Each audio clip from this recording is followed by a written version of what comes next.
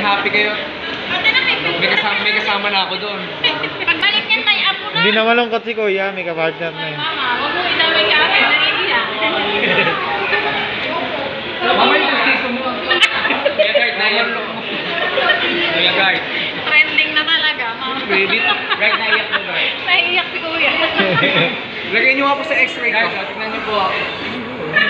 Ah, Dito po, ah, nakikita po natin. Kunin mo rin ako, ha? dapat nga, dapat nga excited ka eh, kasi siyempre pag uwi namin baka meron na ha. Hindi, sabi niya. May apo, may, may apo na kami English speaking. Uy, turuan niyo na ito mag-English. English speaking yun. Oh, yung dalawa. Ayun o, may kalaro. Walang pakiala. Wala lang. Huwag na umiyak. Uy, kire, babay na. Ay, ay, ito na.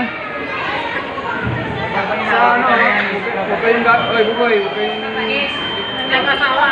Uy, buboy. Outside kayo sa bahay ni kuya.